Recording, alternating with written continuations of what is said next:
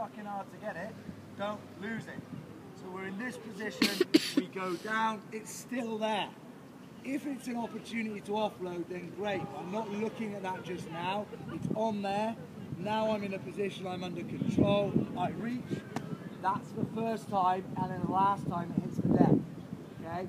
And it's in two hands.